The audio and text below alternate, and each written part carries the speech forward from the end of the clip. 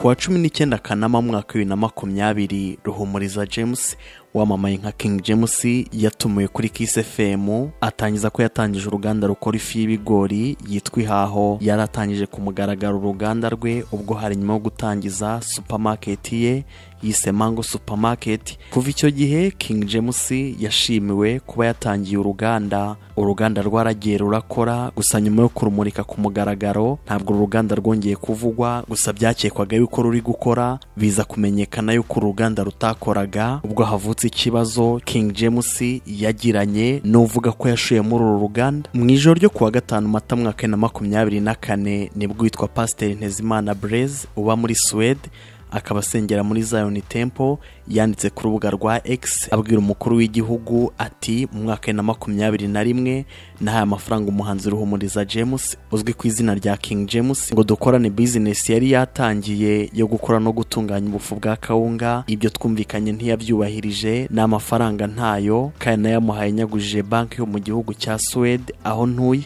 yakomeje agira ati kuva icyo gihe kugeza ubu ndimo ndishyura ideni rya banki hiyongeyeho n'inyungu no gusiragira muri ribu ntanga n'amafaranga y'amatike y'indege n'ay'abavoka.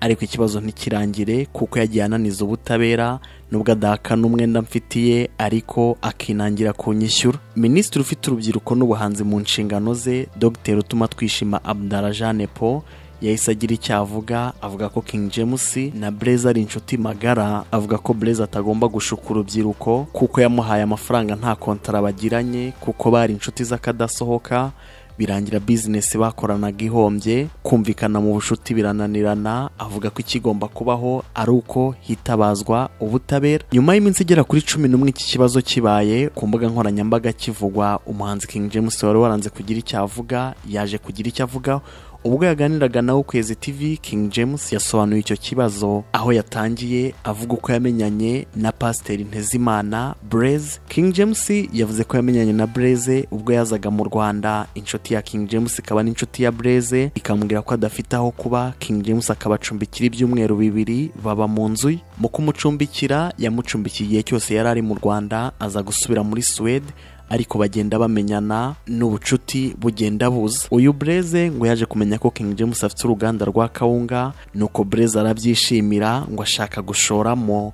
Niko kunyura ku nshuti ya king james ngo ariko iyo nshuti iramubwira iti n'ubundi muraziranye wamwinyuriraho. Baraganiriye king james yemerera bureze gufatanya nawe amuha amafaranga. Ayo mafaranga bivuga ko yayamuhaye mu mpeshyi umwaka wa makumyabiri na rimwe. Urwo ruganda rwari rumaze umwaka rutangiye gusa ngo bureze yayamuhaye atari mu rwanda ahubwo ngo yaje mu rwanda mu kuboza k'umwaka wa bibiri na makumyabiri na rimwe amafaranga yamuhaye nk'uko minisitiri yabigaragaje akaba ibihumbi mirongo itatu by'amadolari y'amerika ubwo mu mafaranga y'u rwanda asaga miliyoni mirongo itatu n'umunani. Ngo ayo mafaranga yarayamuhaye ngo yagure ibikorwa uruganda rukomeze ruba uruganda rukomeze rwaguke.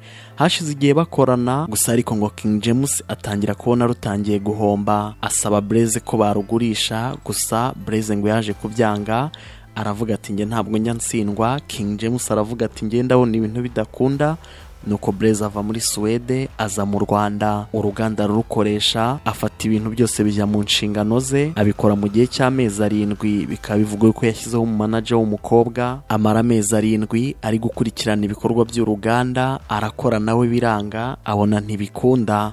Abonye bidakunda ibibazo rero byatangiye kuba ibibazo. Abonye rero ibintu ari ibibazo yaje kwegera king james ngo barugurishe ubundi bakaba bagabana amafaranga gusa ariko ngo abakiriya babaye yanga abakiriya ngo basangaga uruganda rudakora nuko bakabahenda cyane.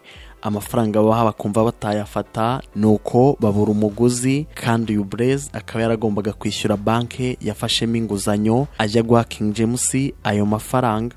King james nk'uwari inshuti y'uwo mugabo ngo yagiye amuha amafaranga kugira ngo yishyure iryo deni ngo hari amafaranga yamwemerera agomba kujya yamuha buri kwezi ngo yayamuhaye ukwezi kumwe ngo yanagurishije imodoka bari bafite bayigurisha bayihombeje kugira ngo amafaranga aboneke abashe kwishyura ideni ariko ngo akimara kwishyura ukwezi kumwe mbere y'uko yishyura ukwezi kwa kabiri ngo ikibazo cyaravutse. King James ngo yaje kumva ari bimuhamagaza imusaba kujya kwitaba agezeyo yasanze ari Blaise wamureze amushinja ubwambuzi. Ahangaha King James yavuze ko yari kuba yarafunzwe iyo ataza kwerekana ikizibiti cy'uko yagiye amuha amafaranga mbega ko nawe yari umufatanyabikorwa. Uyu muhanzi yasobanuye ko yerekanye amafaranga yagiye amwoherereza ndetse yerekana n'aho bagurishije imodoka agaha ayo mafaranga Blaise imbumbe yose akerekana uko yoherezaga amafaranga akerekana uko amafaranga yagiye ayakoresha mu gihe yari ari muri urwo ruganda akoramo mu gihe cy'amezi arindwi uko yanyuzaga amafaranga ku mukozi wa mangwa Nyamirambo n'ibindi byose byerekanaga yuko Blaise nawe yari umufatanyabikorwa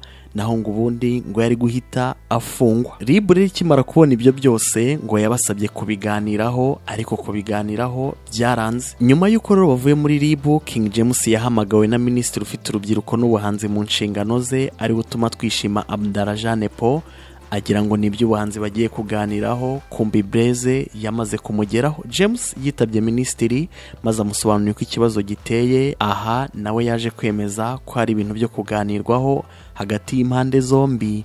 Gusa kuganirwaho byakomeje kwanga. Nyuma rero ni bwo Blaise yagiye ku mbuga nkoranyambaga atabaza umukuru w'igihugu King James akaba yaravuze yuko uyu Blaise ashaka kumwicira izina gusa Blaise we yavuze yuko ngo yari ushaka kumwicira izina ngo hari n'ibindi yavuga bitari ibyo yavuze mbega ubwo wenda hari ibyo azi. King James yavuze ko uruganda impamvu rwahombye ariko mu gihe cya kovide ngo habayeho inganda nyinshi zikora kawunga ndetse n'amafara amanuka. Ifu yabo yari iri ku giciro cyo hejuru rimwe na rimwe bakanayihombya kugira ngo babone abaguzi ariko ibintu bikomeza kwanga birangira uruganda ruhombye. Mbega uru ruganda ntabwo rwakoze igihe Blaise nawe mu byo yavuze yitakanye ko atari umufatanyabikorwa w'uru ruganda we byose akavuga yuko ari ibya King James niyo modoka yagurishijwe agahabwa amafaranga yose.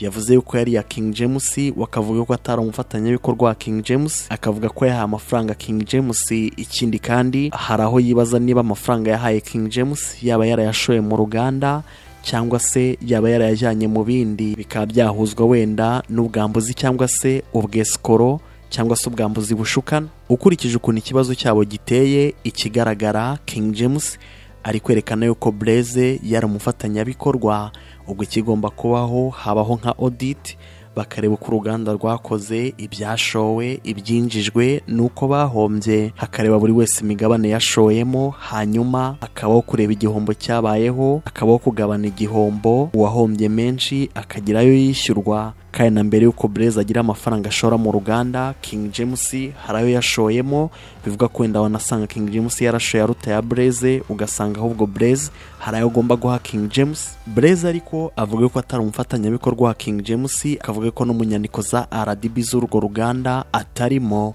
Bityo ntabwo ari umufatanyabikorwa mbega we ntabwo ashaka kugaragara nk'umufatanyabikorwa kugira ngo ahabwe amafaranga yose uko angana ibyo kugabana igihombo bibe bitabaho ariko na King James akagaragaza yuko uwo mugabo yari umufatanyabikorwa akavuga ko bagomba kujya mu butabera bukabakiranura bikavuga yuko byanze bikunze bagiye mu butabera bagatanga ibimenyetso wenda ushobora no gusanga Blaise hari ibyo agomba kwishyura King James ntawamenya bitewe n'ibyashowe ndetse n'uko amafaranga yakoreshejwe. Niba ibya King James na Blaise ubwo reka tubitege amaso.